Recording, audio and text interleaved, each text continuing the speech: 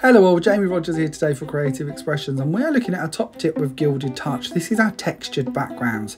Gilded Touch is available in 10 colours. It's a water-based version of a gilding wax and these are so much fun to work with. You're going to have so many techniques and ways you can use them. The one we're going to do today to create a textured background is working on top of a piece of MDF, but these will dry on porous and non-porous surfaces, so don't hesitate to play around with the, the piece you're working on top of. I'm going to add some small random dots across the background using Indulgent Red, Autumn Bronze, Tarnished Gold, Enchanted Gold and Misty Teal, which is just five of the colours out of the 10 that are available. So lots and lots of colour combos you could be creating. I'm then going to take a blending brush. Now I'm going to use a large headed Vasson Creative blending brush.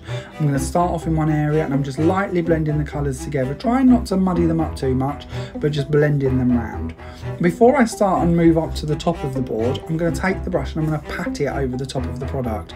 This will lift it up into little points or mountains as it goes and it will dry with that texture in place. If you don't want it to be textured, then you can just carry on smoothing it out in circles. I've now moved up to the top of the board and I'm carrying on the same techniques. I've smoothed it out in circles and then I've patted the brush across it. That brush needs to go into water as soon as possible. This is a water-based product, but I don't want it to dry and set on your brush, so please soak them as quickly as you can.